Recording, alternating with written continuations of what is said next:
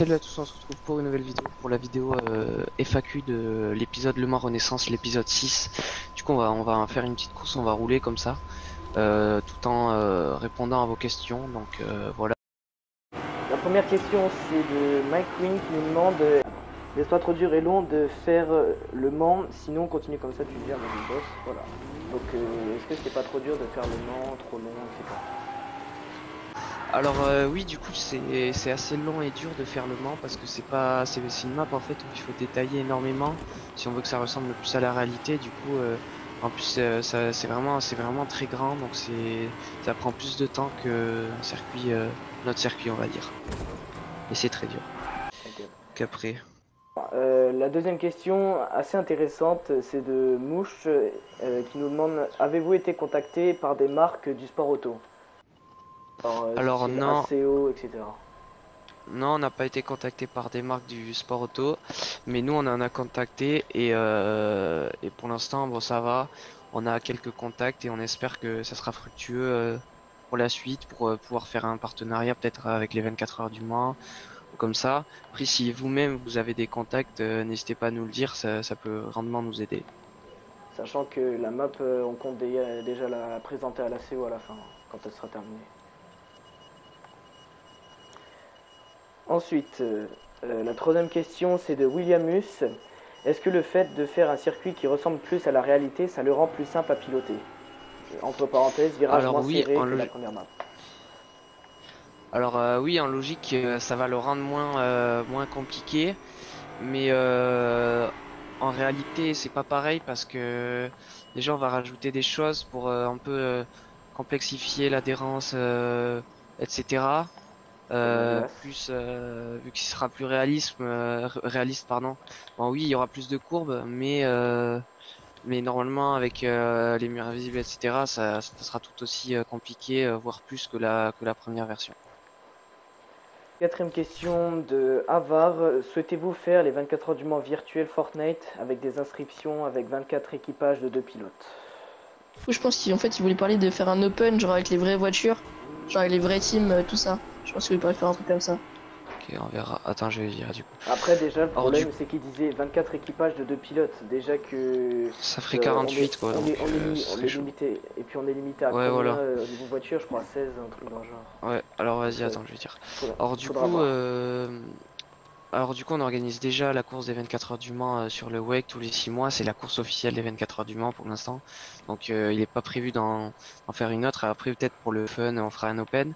Mais après on est limité à 16 voitures. Donc euh, c'est ça qui sera compliqué. Du coup, on pourra pas mettre 24 voitures, mais voilà, on verra quand la quand la map sera finie. Ensuite, cinquième question de Lézard, ici présent. Est-ce qu'on va faire le stade de foot du Mans? Alors oui, le stade de foot sera fait. Au début, on va faire l'extérieur du stade. Et si euh, s'il nous reste assez de place, euh, on fera l'intérieur du, du MM Arena qui s'est fait renommer en plus il y a pas longtemps.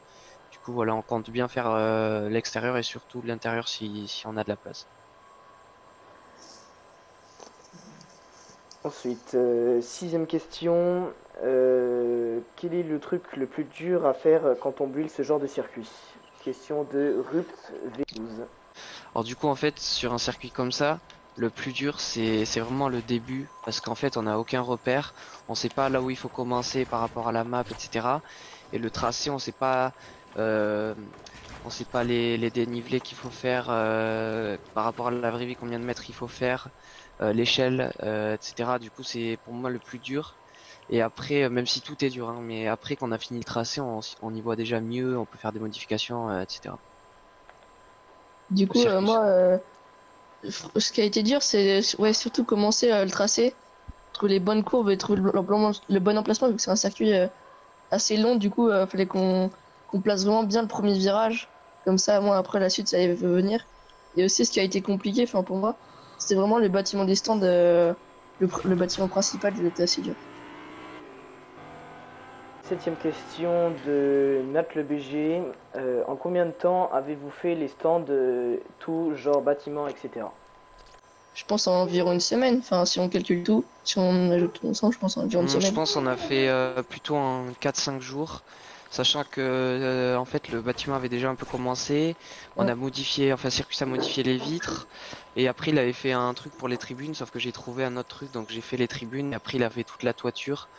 Mais euh, enfin ça nous a pris, euh, ça a pris quand même pas mal de temps, mais en termes de jours, oui, ça doit être 4-5 Et jours. après, il y a le grand bâtiment, la tour principale là, qui a pris, je pense, ça a pris un peu moins de temps que, que la tribune des stands. Euh, 3-4 jours aussi, Ouais. tu l'as pris à le faire.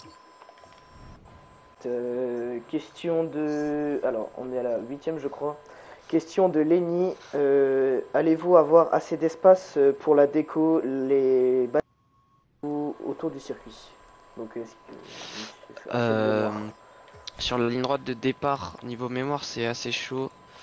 Mais euh, voilà, Fortnite ça bug beaucoup, la même mémoire bug et on espère que vraiment on aura assez de mémoire. On verra bien, hein, mais voilà, on verra. Mais on espère avoir assez de mémoire. On a des glitches euh, au cas où pour la mémoire, etc. De. Euh.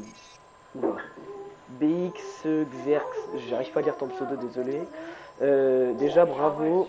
Ensuite, allez-vous faire des courses avec des abonnés Euh, bah en fait la map sera un libre accès, hein, vous aurez un code que vous pourrez mettre. Et du coup à partir de, là ben, vous pourrez organiser vos propres courses euh, donc euh, nous nous en organiser je pense pas hein, mais si vous nous le demandez peut-être on en organisera mais vous pourrez vous-même en organiser. Mais sinon on va on va essayer d'organiser une inauguration de la map où il y aura 50 personnes. Du coup tout le monde sera le bienvenu Les. Euh, ensuite, euh, question de Doublon Pompon 82. Euh, question est-ce que le tirage, on peut. On, pour prendre large comme après Dunlop, comme sur la vidéo? Euh, fais.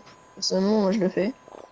on peut un peu sortir les roues dans la bande verte mais on verra après Il y, a- euh, y a ça. sur, y a la map euh, sur la map version euh, normale on va on va faire comme dans la vraie vie. Après sur la sur la map euh, compétition euh, on verra. Ce sera su- suivant les attentes de la FIA etc pour les vrais pour, les 24 heures du mois qu'on organisera.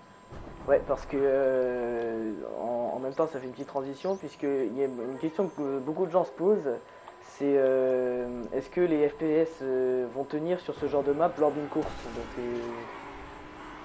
Vas-y, Quentin, je te laisse répondre. oui alors en fait alors en fait euh, il y aura là la map qu'on est en train de faire. C'est vraiment la map euh, version détaillée où il va y avoir plein de détails donc oui ça bug. Mais en fait euh, quand cette map sera finie on va la copier-coller et on va enlever plein de choses qui, qui ne servent à rien pour la course. Et on rajoutera des systèmes etc du coup ça va beaucoup moins se bugger. En plus de ça il y a sûrement le créatif 2.0 qui va arriver. Donc le jeu va être optimisé etc en tout cas on l'espère. Et de toute façon c'est voilà on, on est là pour kiffer avant tout pour cette map c'est on pense pas à la course euh, tout de suite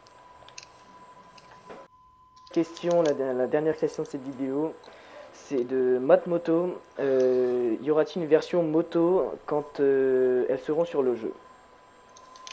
Euh, si elles sont sur le jeu, bien sûr, on mettra des motos. hein. Après, il faudra voir la physique, etc. On ajustera la vitesse s'il faut même, mais si elles sont sur le jeu, oui, on, on ajoutera les, les motos.